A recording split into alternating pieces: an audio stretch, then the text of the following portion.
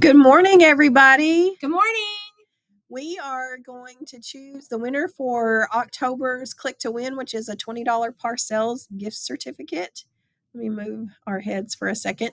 All right, so I've got everyone's name in that played, and thank you all so much for playing again last month. We we love it when you guys, I don't know, Participate. yeah, We love it. participate. We We love love, it. it.